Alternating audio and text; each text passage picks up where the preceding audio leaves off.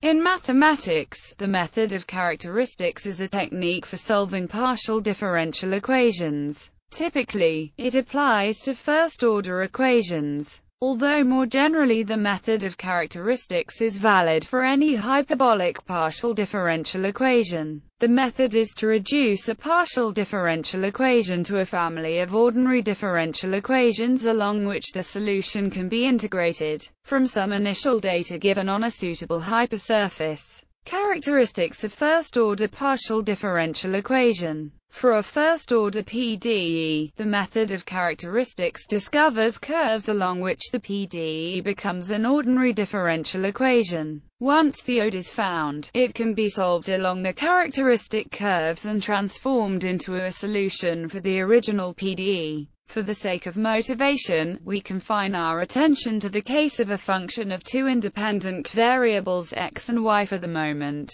Consider a quasi-linear PDE of the form suppose that a solution Z is known, and consider the surface graph Z equals Z in R3. A normal vector to this surface is given by as a result. Equation is equivalent to the geometrical statement that the vector field is tangent to the surface Z equals Z at every point for the dot products of this vector field with the above normal vector is zero. In other words, the graph of the solution must be a union of integral curves of this vector field. These integral curves are called the characteristic curves of the original partial differential equation. The equations of the characteristic curve may be expressed invariantly by the Lagrange-Charpit equations or, if a particular parametrization T of the curves is fixed, then these equations may be written as a system of ordinary differential equations for x, y, z. These are the characteristic equations for the original system. Linear and quasi-linear cases consider now a PDE of the form for this PDE to be linear. The coefficients i may be functions of the spatial variables only, and independent of u. For it to be quasi-linear, i may also depend on the value of the function, but not on any derivatives. The distinction between these two cases is inessential for the discussion here. For a linear or quasi-linear PDE,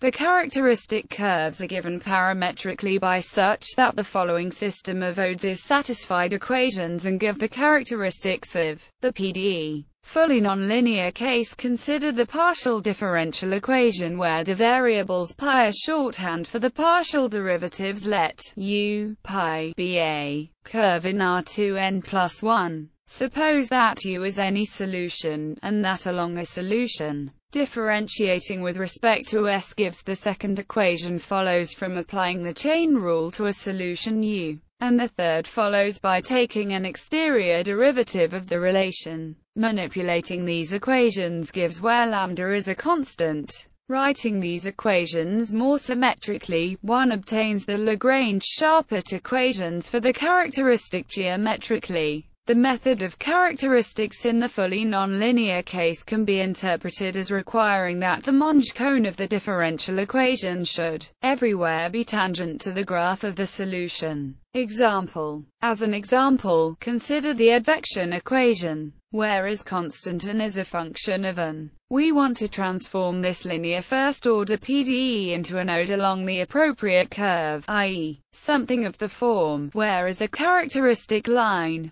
First, we find by the chain rule. Now, if we set and we get which is the left-hand side of the PDE we started with. Thus so, along the characteristic line, the original PDE becomes the ode. That is to say that along the characteristics, the solution is constant. Thus, where and lie on the same characteristic. So to determine the general solution, it is enough to find the characteristics by solving the characteristic system of odes. Letting we know, letting we know, letting we know. In this case, the characteristic lines are straight lines with slope, and the value of remains constant along any characteristic line. Characteristics of linear differential operators. Let X be a differentiable manifold and P a linear differential operator of order k, in a local coordinate system Xi, in which alpha denotes a multi-index. The principal symbol of P, denoted sigma p, is the function on the cotangent bundle Tx defined in these local coordinates by where the xi are the fiber coordinates on the cotangent bundle, induced by the coordinate differentials dxi. Although this is defined using a particular coordinate system, the transformation law relating the xi and the xi ensures that sigma p is a well-defined function on the cotangent bundle.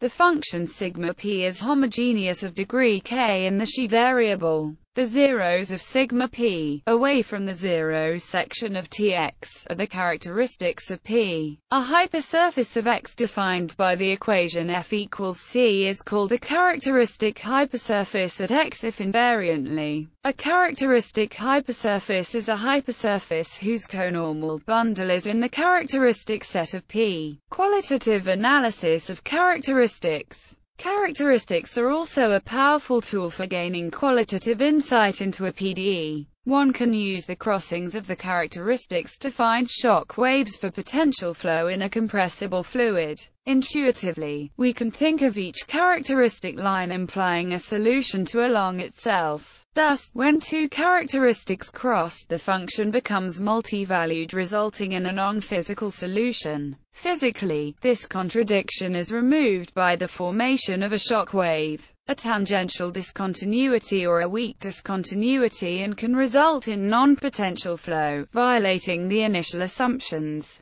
Characteristics may fail to cover part of the domain of the PDE. This is called a rarefaction, and indicates the solution typically exists only in a weak, i.e., integral equation, sense. The direction of the characteristic lines indicate the flow of values through the solution, as the example above demonstrates. This kind of knowledge is useful when solving PDEs numerically as it can indicate which finite difference scheme is best for the problem.